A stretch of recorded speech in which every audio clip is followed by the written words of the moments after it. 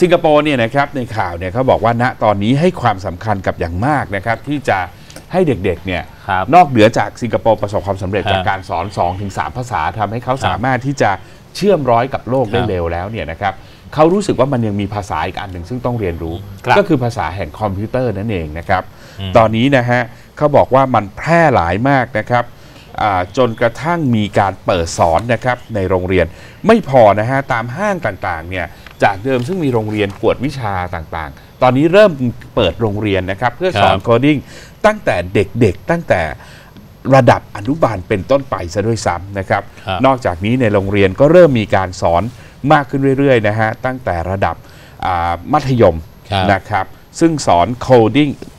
at all time high นะครับก็คือครับเรียนกันแบบเต็มที่เลยนะฮะครับ และที่สำคัญที่สุดก็คือว่ากลายเป็นวิชานะครับเพื่อใช้สอบจบมัธยมปลายมีให้เลือกด้วย ที่เราเรียกว่าระบบ A levels แล้วก็ ครับ มีการเปิดนะครับอ่าคณะต่างๆ ในมหาวิทยาลัย ซึ่งสามารถนำเอาความรู้จาก coding เนี่ยไป apply ใช้กับสาขาที่สนใจได้ ครับ แปลว่าเขาปรับตัวไปเร็วมากๆนะแต่ยังไม่ครับถึงขนาดภาคบังคับใช่ไหมบังคับแล้วฮะ บังคับแล้ว บังคับแล้วก็คืออา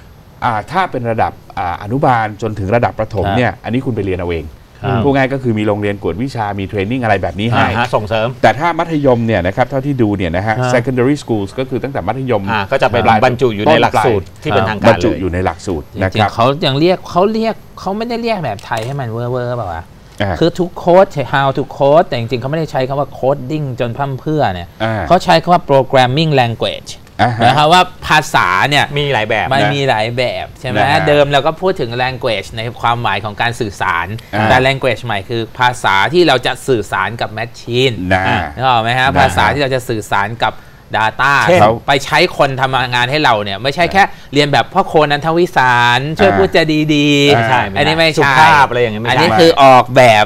กลไกบางอย่างที่จะเอากลไกนั้นนะไปสื่อสารกับสิ่งที่